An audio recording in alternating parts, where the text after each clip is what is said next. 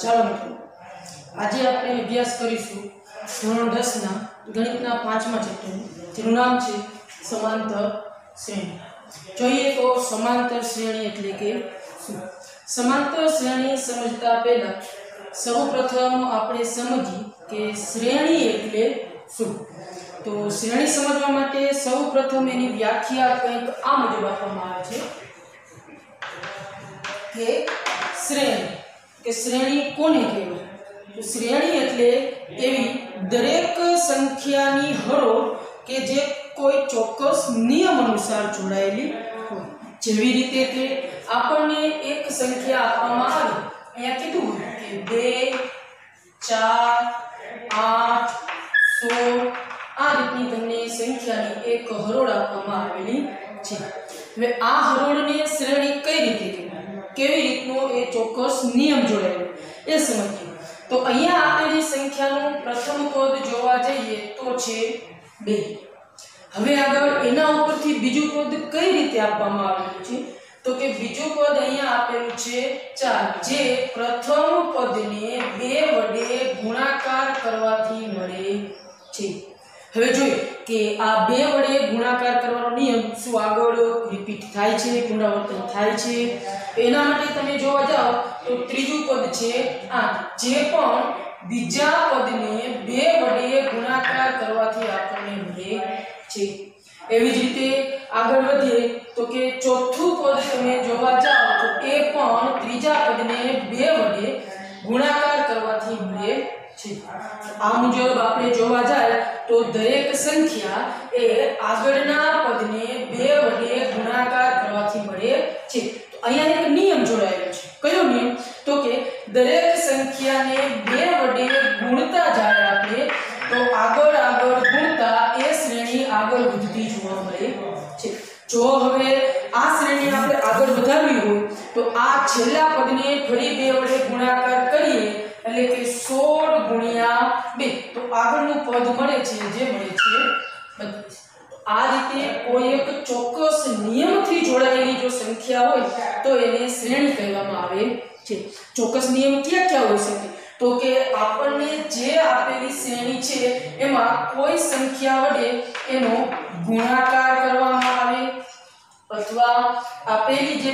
સંખ્યા છે એનો ભાગાકાર કરવામાં આવે. અથવા તો એ સંખ્યામાં કોઈ સંખ્યા ઉમેરવામાં આવે અથવા તો બાદ કરવામાં આવે. તો આ જે ચાર ભાગુ સભાના નિયમ વડે જોડાયેલી કોઈ જો સંખ્યાની હરોળ હોય, તો એને શ્રેણી કહેવામાં આવે. છે. વ્યાખ્યા તરફ નજર લખીએ, તો કે શ્રેણી એટલે તો એવી સંખ્યાઓનો સમૂહ, એવી સંખ્યાઓનો સમૂહ જે કોઈ એક ચોક્કસ નિયમથી જોડાયેલું, જે કોઈ એક ચોક્કસ નિયમથી જોડાયેલી હોય. તો તેને શ્રેણી કહેવામાં આવે છે. જોઈએ આપણે શ્રેણીના અમુક બીજા ઉદાહરણો. ધ્યાન રાખજો મિત્રો, અહીંયા વાત થાય છે માત્ર શ્રેણીની સમાંતર શ્રેણીની નહીં. સૌપ્રથમ આપણે સમજી લઈએ કે શ્રેણી એટલે શું? જ્યારે શ્રેણીનું આપણને પૂર્વ જ્ઞાન મળી જાય, ત્યારબાદ આપણે આગળ વધશું સમાંતર શ્રેણી તરફ હવે આ રીતે અહીંયા સંખ્યામાં તમે જોયું કે દરેક સંખ્યાનો બે વડે ગુણાકાર કરવામાં આવે છે. હવે આગળ વધીએ. એકાદું બીજું ઉદાહરણ લઈ લઈએ કે તમને કોઈ સંખ્યા આપેલી હોય અહીંયા? બે, પાંચ, આઠ, અગિયાર અને આ રીતે તમને આગળ અનંત સ્વરૂપે દર્શાવેલી છે. તો આ એક શ્રેણી છે કે નહીં? તો સમજવા માટે તમે જોતા જાઓ તો પહેલા પદની અંદર જો તમે ત્રણ ઉમેરો તો તમને અહીંયા બીજું પદ મળે છે. એવી જ રીતે જો બીજા પદની અંદર તમે 3 ઉમેરો, તો ત્રીજું પદ મળે છે. અને ત્રીજા પદની અંદર જો 3 ઉમેરો, તો ચોથું પદ મળે છે. મતલબ કે આપેલી જે સંખ્યાની હરોળ છે, એની અંદર ચોક્કસ નિયમ રહેલો છે. કયો નિયમ? તો કે દરેક સંખ્યામાં ત્રણ ઉમેરવામાં આવે છે અને જો આ ત્રણ ઉમેરતા જઈએ, તો શ્રેણીના આગળના પદ મળતા જાય. છે આ રીતે મળતી શ્રેણી, આને પણ એક શ્રેણી કહેવામાં આવે. છે એવી જ રીતે હજુ એક ઉદાહરણ જોઈ લઈએ કે આપણને કહેવામાં આવેલું હોય, તમારી પાસે સંખ્યા છે દસ, પાંચ, જીરો, માઇનસ પાંચ. આ રીતે આગળ આગળ તમને દર્શાવેલું. છે આમાં સમજી શકો કે કયો નિયમ જોડાયેલો છે? જોઈએ આપણે. કે આની અંદર કયો નિયમ જોડાયેલો છે. પ્રથમ પદ આપેલું, એના ઉપરથી બીજું પદ કઈ રીતે મળે છે? કે પ્રથમ પદમાંથી જો તમે પાંચ બાદ કરી નાખો, તો તમને બીજું પદ મળે છે. એ જ રીતે બીજા પદમાંથી જો ફરી પાંચ બાદ કરો, તો ત્રીજું પદ મળે. ત્રીજા પદની અંદરથી ફરી પાંચ બાદ કરો, તો ચોથું પદ મળે છે. આ રીતે આની અંદર નિયમ કયો જોડાયેલો? તો આ જે સંખ્યા આપેલી છે, દરેકમાંથી પાંચ બાદ કરવામાં આવે છે. તો આ રીતે મળતી શ્રેણી કે કોઈ સંખ્યાની હરોળ આપેલી હોય, જેની અંદર કોઈ સંખ્યાનો ચોક્કસ ગુણાકાર થતો હોય, એ સંખ્યાનો કોઈ ભાગાકાર થતો હોય, કોઈ સંખ્યા ઉમેરાતી અથવા તો બાદ થતી હોય, તો એવી મળતી દરેક હરોળને શ્રેણી કહેવામાં આવે છે. ખાસ ધ્યાન રાખવાનું આ આપણને સમજૂતી મળી એ માત્ર શ્રેણી વિશેની સમજૂતી મળે છે. હવે આના ઉપરથી આપણે જોઈએ કે સમાંતર શ્રેણી કોને કહેવાય. ચાલો હવે જોઈએ સમાંતર શ્રેણી વિશે. અત્યાર સુધી આપણે જોયું કે શ્રેણી એટલે શું? કે શ્રેણીમાં કોઈ સંખ્યા ઉમેરવામાં આવે, બાદ કરવામાં આવે, કે ભાગાકાર કે ગુણાકાર કરવાથી જે હરોળ મળતી હોય એને એક શ્રેણી કહેવામાં આવે છે. હવે અહીંયા વાત છે સમાંતર શ્રેણી. તો કે સમાંતર શ્રેણી એટલે શું? તો સમાંતર શ્રેણી એટલે કે જે શ્રેણી શ્રેણી તો હોય પણ એની અંદર કાંઈક અલગ જોવા મળતું. શું અલગ? તો કે જે શ્રેણી છે એ કોઈ ચોક્કસ સંખ્યા, ઉમેરવા અથવા બાદ કરવાથી માત્ર મળતી હોય, એને સમાંતર શ્રેણી કહેવામાં આવે છે. ધ્યાન રાખજો શ્રેણી અને સમાંતર શ્રેણીનો તફાવત શું છે? શ્રેણીની અંદર તમને સંખ્યાની હરોળ આપેલી હશે. જેની અંદર ગુણાકાર થતો હોય ભાગાકાર થતો હોય સરવાળો કે બાદબાકી ગમે તે નિયમ લાગુ પડતો હોય, તો એને શ્રેણી કહેવામાં આવે છે. પરંતુ સમાંતર શ્રેણી કોને કહેવાય? તો કે સમાંતર શ્રેણી એટલે કે જે શ્રેણીમાં સંખ્યા કાં તો ઉમેરવામાં આવતી હોય અથવા તો સંખ્યા બાદ કરવામાં આવતી હોય. જો આ બે જ નિયમો જોવા મળતા હોય, તો એને સમાંતર શ્રેણી કહેવામાં છે હવે આપણને પ્રશ્ન થાય કે કઈ શ્રેણી છે? એને માત્ર શ્રેણી કહેવાય અને કઈ હરોળને સમાંતર શ્રેણી કહેવાય? તો અમુક ઉદાહરણ દ્વારા સમજીએ. અહીંયા જોઈએ કે આપણને ઉદાહરણ આપવામાં આવે, સંખ્યા 0 4 8 બાર, સોળ. આ રીતની જે સંખ્યા આપવામાં આવેલી છે. તો આ સંખ્યા ઉપરથી નક્કી કરી શકાય કે આ શ્રેણી માત્ર છે કે સમાંતર શ્રેણી છે. જોઈએ કઈ રીતે? તો કે આની અંદર સૌથી પ્રથમ પદ આપેલું છે જીરો જો બીજું પદ જોતું હોય, તો કયો નિયમ વપરાયેલો છે? તો કે બીજા પદ મેળવવા માટે આપણે પ્રથમ પદની અંદર ચાર સંખ્યા ઉમેરવી પડે છે. હવે આગળ જોઈએ, તો કે બીજા પદની અંદર ફરી ચાર ઉમેરતા ત્રીજું પદ મળે છે અને ત્રીજા પદની અંદર પણ ચાર ઉમેરતા ચોથું પદ મળે છે. તો આ રીતે અહીંયા જોવાય છે કે દરેક સંખ્યા એની અંદર ચાર સંખ્યાનો ઉમેરો થાય છે. તો માત્ર ઉમેરાતી હોવાથી આ સંખ્યા જે ઉદાહરણ આપેલું છે, આ ઉદાહરણને આપણે એક સમાંતર શ્રેણી કહી શકાય છે. હવે આ જ રીતે બીજું એક ઉદાહરણ જોઈએ કે સંખ્યા તમને આપેલી હોય. માઇનસ ત્રણ માઇનસ એક એક, ત્રણ, પાંચ, સાત. ફરી જોઈએ. આ સંખ્યા સમાંતર શ્રેણી છે કે નહીં? તો એને જોવા માટે અહીંયા તમે સૌપ્રથમ જુઓ પહેલું પદ છે માઇનસ ત્રણ. હવે એના ઉપરથી બીજું પદ કઈ રીતે મળે? તો કે જો આ સંખ્યાની અંદર બે ઉમેરવામાં આવે તો આપણને બીજું પદ મળે છે. એ જ રીતે એમાં બે ઉમેરવામાં આવે તો ત્રીજું પદ મળે છે. અહીંયા પણ સંખ્યાનો ઉમેરો થતો હોવાથી આને આપણે સમાંતર શ્રેણી કહી શકાય. છે. હવે એકાદું બાદબાકી વાળું ઉદાહરણ લઈ લઈએ. સમજીએ કે આપણને સંખ્યા આપવામાં આવેલી છે આઠ, પાંચ, બે, માઇનસ એક, માઇનસ ચાર.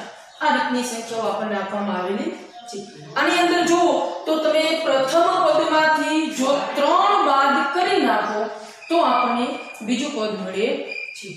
અને જો બીજા પદમાંથી ફરી તમે ત્રણ બાદ કરો, તો આપણને ત્રીજું પદ મળે છે. એ જ રીતે તમે ત્રણ ત્રણ બાદ કરતા જાઓ, તો આપણને આગળની શ્રેણી મળતી જાય છે. એટલે અહીંયા નિયમ વપરાયેલો છે ત્રણ. આ દરેક શ્રેણીની જે સંખ્યા આપેલી છે, એની અંદરથી ત્રણ બાદ કરવામાં આવે છે. તો આ ત્રણ બાદ કરવામાં આવે છે એના પરથી કહી શકાય કે આપેલી શ્રેણી એ સમાંતર શ્રેણી છે. તો આ બંનેનો તફાવત છે, જો માત્ર શ્રેણી કીધેલું હોય, તો એની અંદર કોઈ પણ નિયમ વપરાયેલો હોય. જ્યારે દાખલા તરીકે સરવાળો થયો હોય બાદબાકી હોય, ગુણાકાર કે ભાગાકાર. એમાંથી કોઈ પણ સંખ્યાને શ્રેણી કહી શકાય. પરંતુ સમાંતર શ્રેણીમાં એવું નથી સમાંતર શ્રેણીની અંદર શું જોવા મળે? તો કે નિયમ કા માત્ર ઉમેરવાનો હોય અને કા માત્ર બાદ કરવાનો હોય. તો અને તો જ એ સંખ્યાને સમાંતર શ્રેણી કહેવામાં આવે છે. હવે તમે જોઈ શકો છો કે તમારી સ્ક્રીન ઉપર જે તમને ઉદાહરણ આપવામાં આવેલા છે, એના ઉપરથી ખુદ તમે નક્કી કરો અને બતાવો કે આમાંથી કઈ શ્રેણી એ સમાંતર શ્રેણી છે કે કઈ શ્રેણી એ માત્ર શ્રેણી જ દર્શાવે છે. તમે અહીંયા વીડિયો રોકી, પોઝ કરી, સ્ટોપ કરી અને તમે આ ઉદાહરણ જાતે ગણી શકો છો. અને નક્કી કરી શકો છો કે આપેલ શ્રેણી એ શ્રેણી બતાવે છે કે સમાંતર શ્રેણી બતાવે ચાલો. હવે વાત કરીએ કે શ્રેણી અને સમાંતર શ્રેણી પછી એમની અંદર રહેલા પદ અને સામાન્ય તફાવત, જે આ ચેપ્ટર માટે આપણે ઘણું અગત્યનું છે. આપણને ખબર હોવી પડે કે શ્રેણીનું પદ એટલે શું અને એનો સામાન્ય તફાવત એટલે શું. આ ચેપ્ટરની અંદર સૌથી અગત્ય ધરાવતી વસ્તુ છે. એટલા માટે ખાસ સમજવું કે પદ કોને કહેવાય? તો પદ વિશે તો લગભગ તમે બધા અત્યાર સુધી જાણતા હશો. પદ એટલે તો આપણને જે સંખ્યા આપેલી હોય એ સંખ્યામાં પ્રથમથી લઈ અંત સુધી તમે જતા જાઓ. અને જે સંખ્યા અલગ અલગ પડતી હોય એ દરેક સંખ્યાને એક એક પદ કહેવામાં આવે છે. કઈ રીતે? તો કે અહીંયા તમે જોશો તો ઉદાહરણમાં આપેલી પહેલી સંખ્યા છે બે. ત્યારબાદ અલગ થઈ બીજી સંખ્યા તમને આપવામાં આવેલી છે ચાર. પછી આપવામાં આવેલી છ તો આ એક સમાંતર શ્રેણીનું ઉદાહરણ છે, જેમની અંદર તમને આપેલી સંખ્યા. એના પદ જાણવા હોય. તો કે પહેલી સંખ્યા જે આપણને આપેલી છે, એને કહેવામાં આવે પ્રથમ પદ. હવે જ્યારે અહીંયા આપણે લખ્યું કે પહેલી સંખ્યાને પ્રથમ પદ કહેવામાં આવે, તો તમને તરત વિચાર આવ્યો હશે. કે ભાઈ બીજી સંખ્યા હોય તો એને શું કહેવામાં આવે? તો આપ સૌ જાણો છો કે પ્રથમ સંખ્યાને પ્રથમ પદ કહેવામાં આવે. તો જે બીજી સંખ્યા છે એને એને બીજું પદ કહેવામાં આવે છે.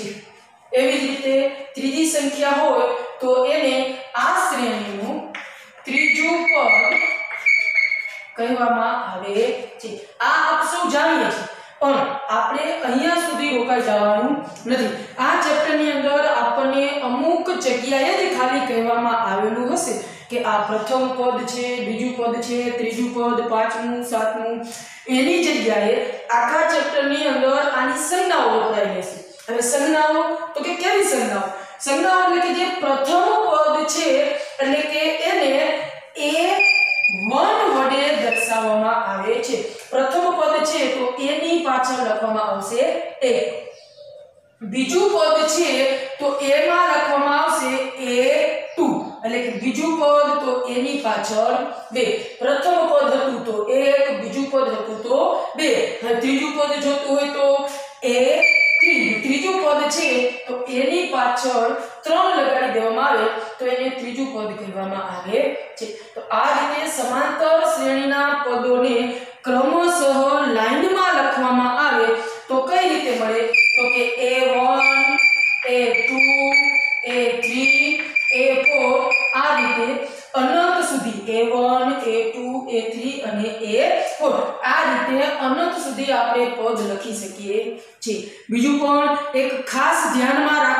બાબત છે કે આપણને જે પ્રથમ પદ એ વન કહેવામાં આવેલું છે, એ સંપૂર્ણ શ્રેણી લખો ત્યારે. બાકી બીજા દાખલાઓની અંદર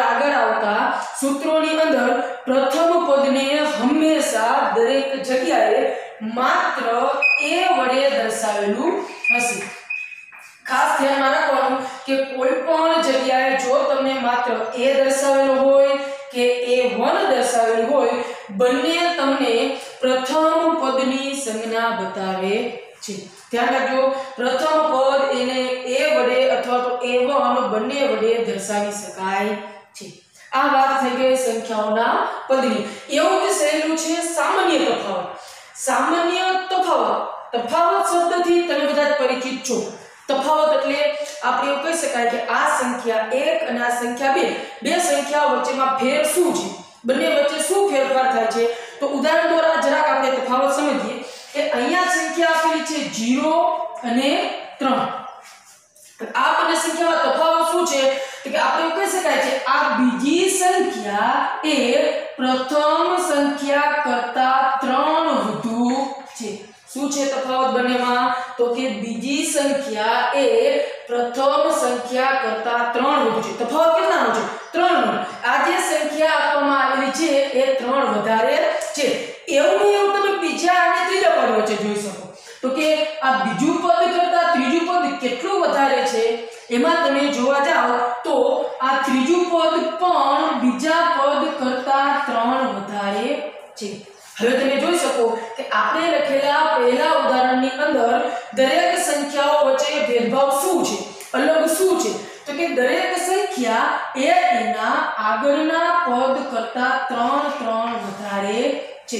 મિત્રો, જે આ તમને આપેલી સંખ્યા, એની વચ્ચે રહેલો ભેદ કેટલી વધારે છે કે કેટલી ઓછી છે? આ જે તફાવત છે એને સમાંતર શ્રેણીનો સામાન્ય તફાવત કહેવામાં આવે છે ફરી એકવાર સામાન્ય તફાવત એટલે શું તો જે શ્રેણી આપેલી હોય સમાંતર શ્રેણી એ સમાંતર શ્રેણીની અંદર જે બંને સંખ્યાઓ વચ્ચે એક પદ પછી બીજું પદ બીજા પદ પછી ત્રીજું પદ ત્રીજા પદ પછી ચોથું પદ આવા કન્ટિન્યુ ક્રમશઃ આવતા પદની વચ્ચે જે તમને તફાવત જોવા મળે, જે તમને ભેદભાવ જોવા મળે, જે સંખ્યાનો વધારો કે ઘટાડો જોવા મળે છે, એને જ આ સમાંતર શ્રેણીનો સામાન્ય તફાવત કહે છે. એવું એક બીજા ઉદાહરણમાં જોઈએ.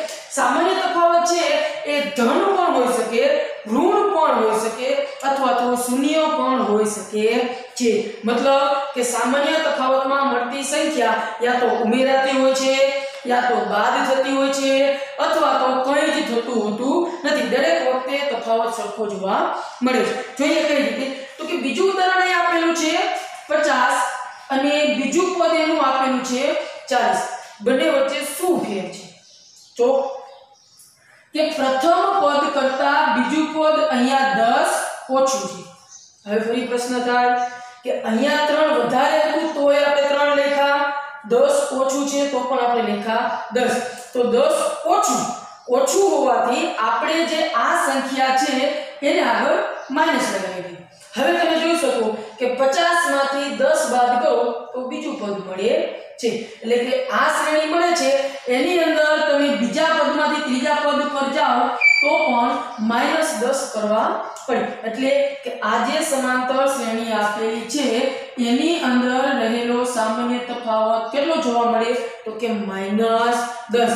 ખાસ ધ્યાનમાં રાખવા જેવી બાબત કે જો સંખ્યા ઉમેરાતી હોય, તો એનો સામાન્ય તફાવત પ્લસ આવે અને જો સંખ્યા બાદ થતી હોય, તો એનો સામાન્ય તફાવત માઇનસ મળે છે. એ જ રીતે હજી એક ઉદાહરણ લઈ લે કે તમને કોઈ શ્રેણી આપવામાં આવે. ચાર ચાર ચાર ચાર આ રીતનું એક ઉદાહરણ આપવામાં આવેલું હવે આપણે જોઈ દરેક વિદ્યાર્થીઓ કહી શકે ત્યારે કે આની અંદર કોઈ જ જાતનો ફેરફાર છે નહીં. કોઈ જ જાતનો ફેરફાર મતલબ કે નથી તો બીજી સંખ્યા વધુ કે નથી તો એના કરતા ઓછી. જો કાંઈ જ ફેરફાર ન હોય તો એ સંખ્યાનો તફાવત શૂન્ય છે એવું કહેવામાં આવે છે. એટલે આપણે આ સામાન્ય તફાવતની અંદર ધ્યાનમાં રાખવા જેવું કે સામાન્ય તફાવત ઉમેરાતી સંખ્યા એટલે કે ધન હોઈ શકે, બાદ ધનની સંખ્યા એટલે કે ઋણ હોઈ શકે, અથવા તો શૂન્ય પણ હોઈ શકે છે. શૂન્ય મતલબ કે આપેલી જે સંખ્યા છે એના સમાંતર શ્રેણીના દરેક પદ એક જ સરખા મળતા હોય છે. અને સૂત્રની અંદર ઉપયોગમાં આવે એના માટે આપણે બધાએ ખાસ યાદ રાખવા દેવું કે જે સામાન્ય તફાવત મળે છે સામાન્ય તફાવત એને હંમેશા સ્મોલ ડી વડે દર્શાવવામાં આવે છે. ધ્યાનમાં રાખવાનું કે અહીંયા જે આપણની પદની વાત થઈ હતી, એની અંદર પ્રથમ પદને એ અથવા એ વન વડે દર્શાવવામાં આવે છે. એ જ રીતે સામાન્ય તફાવતને હંમેશા હંમેશા સ્મોલ ડી વડે દર્શાવવામાં આવે છે. હા ક્યારેક જરૂર પડે ત્યાં આપણે કેપિટલ ડી નો ઉપયોગ કરી શકીએ. પરંતુ એ આપણે આગળના દાખલાઓમાં જોઈશું કે ક્યારે સ્મોલ ડી અને ક્યારે કેપિટલ ડી પણ આપણે અત્યારે એટલું યાદ રાખવાનું કે કોઈ પણ સમાંતર શ્રેણી એનો સામાન્ય તફાવત હંમેશા અને હંમેશા સ્મોલ ડી વડે દર્શાવવામાં આવે છે. તો આ વાત થઈ ગઈ અહીંયા. પદ અને એના સામાન્ય તફાવતને પદમાં યાદ રાખવાનું કે જેટલાનું પદ હોય સ્મોલ એની પાછળ એટલા નંબરની સંખ્યા લખવાની. તથા ઉપયોગમાં આવેલી યાદ રાખવા જેવી બાબત કે પ્રથમ પદને માત્ર એ વડે પણ દર્શાવી શકાય છે. અને સામાન્ય તફાવતની વાત કરીએ, તો સામાન્ય તફાવતને ડી સ્મોલ ડી વડે દર્શાવવામાં આવે છે. ચાલો આગળ વધીએ. અત્યાર સુધી આપણે જોયું કે શ્રેણી કોને કહેવાય? સમાંતર શ્રેણી કોને કહેવાય? ત્યારબાદ એમના પદ એટલે શું અને એમનો સામાન્ય તફાવત એટલે શું? હવે આગળ વધીએ કે સમાંતર શ્રેણીનું વ્યાપક અથવા તો પ્રમાણિત સ્વરૂપ. બોર્ડ ઉપર જોતા એવું લાગે કે આ પ્રમાણિત સ્વરૂપ કઈ રીતે લખવામાં આવેલું છે? શું છે? તો એક ઉદાહરણ તરફથી આપણે આગળ વધીએ, જેથી સમજવું સહેલું પડે. આપણે ઉદાહરણ લખીએ કે કોઈ સંખ્યા તમને એક શ્રેણી સ્વરૂપે આપેલી હોય, બે ચાર, છ, આઠ. આ રીતે તમને આપેલી એક સંખ્યા. છે હવે આપણે સમજ્યા કે કોઈ પણ સમાંતર શ્રેણીમાં કઈ રીતે સામાન્ય તફાવત ઉમેરાયેલો હોય, તો કે પ્રથમ પદની અંદર જો બે ઉમેરો, સામાન્ય તફાવત ઉમેરો, તો તમને બીજું પદ મળે. છે એ જ રીતે જો બીજા પદની અંદર ફરી તમે બે ઉમેરો, તો ત્રીજું પદ મળે છે. ધ્યાનમાં રાખવા જેવી બાબત કે પ્રથમ પદની અંદર ઉમેરા આ બે શું છે? તો આપણે થોડી વાર પહેલા વાત કરી કે આ બે એ એક સામાન્ય તફાવત છે અને જેને સ્મોલ ડી વડે દર્શાવવામાં આવે છે. હવે તો આ બે ઉમેરા ત્યારબાદ ત્રીજું પદ મેળવવા શું કરવું પડે? તો જે બીજું પદ મળેલું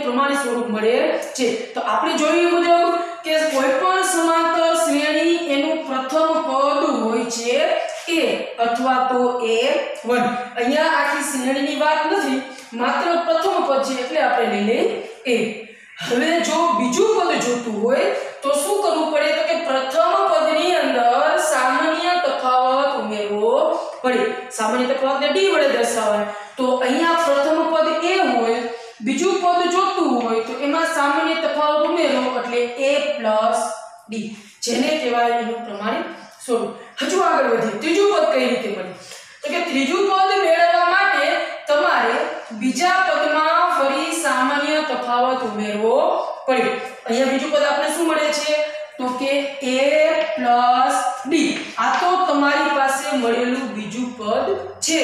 હવે એની અંદર એટલે કે હજુ એક ઉમેરો d અને ભેગું કરો તો થઈ જશે a 2d આ મળી ગયો આપણને ત્રીજું પદ એટલે કે a પ્લસ 2d ફરી આપણે અહીંયા જોયું કે જો ત્રીજા પદ ઉપરથી ચોથું પદ જોતું હોય, તો એમાં ફરી આપણે સામાન્ય તફાવત ઉમેરવો પડે. તો આગળ વધીએ. અહીંયા તમને બીજું પદ આપેલું છે a 2d એની અંદર વધારાનો એક સામાન્ય તફાવત ઉમેરવામાં આવે તો આગળ ચોથું પદ મળે ફરી એને ભેગું કરી નાખો, તો આગળ મળી જશે પદ એ પ્લસ થ્રી ડી. અને હવે આ રીતે તમે આગળ લખતા જાઓ, એટલે તમને આપેલ સમાંતર શ્રેણીનું પ્રમાણિત સ્વરૂપ કંઈક આ સ્વરૂપે મળે છે. પ્રમાણિત સ્વરૂપ મતલબ કે પ્રથમ પદ એ, બીજું પદ એ પ્લસ ડી, ત્રીજું પદ એ પ્લસ ટુ ચોથું પ્લસ a પ્લસ થ્રી આ રીતે તમને કન્ટિન્યુ પદ મળતા રહે છે. હવે ત્યારબાદ આપણે આગળ વધીએ, તો હવે વાત કરીએ કે આ જે શ્રેણી છે એના પ્રકારોની. શ્રેણીના પ્રકારો કયા કયા છે? તો કે શ્રેણીના બે પ્રકાર, એક શાંત સમાંતર શ્રેણી અને એક અનંત સમાંતર શ્રેણી. શાંત અને અનંત સમજવું બહુ સહેલું છે. શાંત એટલે તો એવી શ્રેણી કે જે કોઈ ચોક્કસ સંખ્યા પછી ફિક્સ થઈ જતી ઉદાહરણ તરીકે આપણે લખીએ કે ત્રણ, ચાર, પાંચ, છ આગળ આગળ સંખ્યા દર્શાવે અને છેલ્લું પદ આપેલું હોય ત્રીસ. ત્યાં રોકાઈ જતી હોય. તો આવી જે શ્રેણી આપવામાં આવેલી હોય છે, તેને શાંત ફિક્સ ચોક્કસ, સમાંતર શ્રેણી કહે છે અને જે શ્રેણીની અનંત સુધી લંબાવેલી હોય જેનું છેલ્લું પદ આપણે ક્યારેય જાણતા ન હોય, એવી શ્રેણીને અનંત સમાંતર શ્રેણી કહે છે. એનું પણ એક ઉદાહરણ જોઈએ. અહીંયા તમને આપેલું છે બે, ચાર, છ, આઠ અને આગળ અનંત સુધી દર્શાવેલું છે. તો તેને અનંત સમાંતર શ્રેણી કહે છે. હવે યાદ રાખવા માટે સિમ્પલ એટલું આપણે યાદ રાખવાનું કે જે શ્રેણીનું છેલ્લું પદ આપણને ખબર હોય, એને શાંત સમાંતર શ્રેણી કહેવાય. અને જે શ્રેણી અનંત સુધી લંબાવાયેલી હોય તેને અનંત સમાંતર શ્રેણી કહે છે. આ વાત થઈ ગઈ અત્યાર સુધીના બેઝિકની કે શ્રેણી કોને કહેવાય, સમાંતર શ્રેણી કોને કહેવાય, એમના પદ કયા કયા હોઈ શકે, ત્યારબાદ તો આપેલ શ્રેણીનો સામાન્ય તફાવત શું હોય, એનું પ્રમાણિત સ્વરૂપ શું છે? ત્યાર પછી આપણે આ ઉદાહરણ દ્વારા જોયું કે કઈ શ્રેણી તો એને શાંત સમાંતર શ્રેણી કહેવાય અને કઈ શ્રેણીને અનંત સમાંતર શ્રેણી કહેવાય. હવે આગળ જોઈએ કે શ્રેણીને લગતા અમુક મુદ્દાઓ જે ધ્યાનમાં રાખવા જેવા આપણને ક્યારેક હેતુલક્ષી પ્રશ્નોની અંદર આવા પ્રશ્નો પૂછાઈ શકે છે. ચાલો હવે આગળ વધીએ કે સમાંતર શ્રેણી એના અમુક નિયમો કેવા નિયમો? તો કે સૌપ્રથમ નિયમો તરફ નજર નાખીએ તો કે જો કોઈ સમાંતર શ્રેણી આપણને આપેલી હોય અને એ શ્રેણીમાં કોઈ ચોક્કસ સંખ્યા ઉમેરવામાં આવે કોઈ ચોક્કસ સંખ્યા બાદ કરવામાં આવે કે એના કોઈ ચોક્કસ સંખ્યા વડે ગુણાકાર કે ભાગાકાર કરવામાં આવે, છતાં પણ જે શ્રેણી આપણે મળે છે, એ હંમેશા સમાંતર શ્રેણી જ મળે છે. ફરી એકવાર કે કોઈ તમને સમાંતર શ્રેણી આપેલી જ હોય અને એમની અંદર કોઈ દરેક પદમાં આપેલી સમાંતર શ્રેણી એના દરેક પદમાં એક સંખ્યા ઉમેરતા જાઓ, એક સંખ્યા બાદ કરતા જાઓ, કોઈ સંખ્યાઓને ગુણાકાર કે ભાગાકાર કરતા જાઓ, તો મળતી સંખ્યા જે હરોળ મળે છે, એ હંમેશા સમાંતર શ્રેણી મળે છે. ધ્યાન રાખજો કઈ રીતે? તો કે જો સમાંતર શ્રેણી આપેલી હોય અને એમાં કોઈ સંખ્યા ઉમેરવા બાદ કરવામાં, ગુણાકાર કે ભાગાકાર કરવામાં આવે, તો અને તો જ મળતી શ્રેણી એ સમાંતર શ્રેણી મળે છે. એવું જરૂરી નથી કે કોઈ શ્રેણી આપેલી હોય અને ગુણાકાર, ભાગાકાર કરવાથી સમાંતર શ્રેણી મળે. ના. શ્રેણી ક્યારે સમાંતર મળે? તો કે જો સમાંતર શ્રેણી આપેલી હોય અને એમાં કોઈ ફેરફાર કરો, તો અને તો જ સમાંતર શ્રેણી મળે છે. હવે સમજીએ કે કઈ રીતે? તો અહીંયા એક શ્રેણી આપણે ઉદાહરણમાં આપેલી છે. 1 3 5 7 અનંત સમાંતર શ્રેણી દર્શાવેલી છે. હવે આની અંદર, તો કે આપણે આની અંદર જોવા જાય, તો દરેક પદની અંદર હું ઉમેરી દઉં છું અહીંયા પ્લસ ત્રણ. અને જોઈએ કે શું તે સમાંતર શ્રેણી મળે છે? તો પ્લસ ત્રણ ઉમેરો તો પ્રથમ પદ એક છે ત્રણ ઉમેરો એટલે થઈ જશે ચાર. બીજું પદ, તો કે ત્રણ છે ત્રણમાં ત્રણ ઉમેરો એટલે થઈ જાય છ.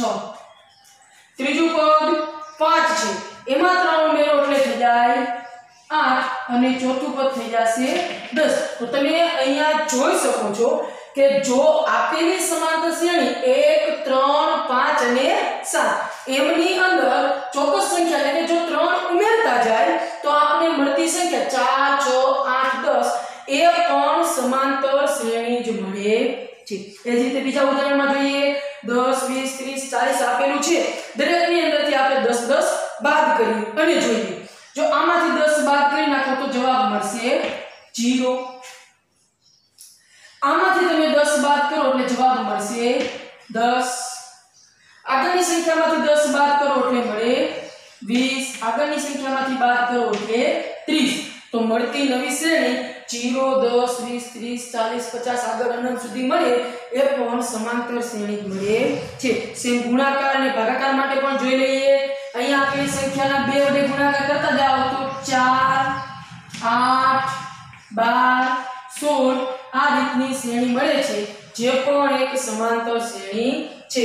અને આપેલી સંખ્યાને જો ચાર વડે ભાગાકાર કરતા જઈએ, તો એક બે, ત્રણ, ચાર, અનંત સુધીની સંખ્યા મળે, જે પણ સમાંતર શ્રેણી મળે છે. ફરી એકવાર સમજીએ કઈ રીતે? તો કે જો તમને કોઈ સમાંતર શ્રેણી આપેલી હોય અને એની અંદર એક સંખ્યા ઉમેરો અથવા તો કોઈ સંખ્યા બાદ કરો, ગુણાકાર કરો કે ભાગાકાર કરો, છતાં પણ જે જવાબ મળે છે એ સમાંતર શ્રેણી જ મળે છે. હવે અત્યાર સુધીનો આપણે જે અભ્યાસ કરેલો છે, અહીંયા સુધીનો શ્રેણી કહેવાય, સમાંતર શ્રેણી કોને કહેવાય, એમના પદ, સંખ્યા, એનું પ્રમાણિત સ્વરૂપ, એના અમુક નિયમો, એ દરેક નિયમો અત્યારે તમને સ્ક્રીન ઉપર આપવામાં આવશે. તમે ચાહો તો એને કોઈ નોટબુકમાં કે તમારી પાકી બુકમાં ઉતારીને સાચવીને રાખી શકો છો.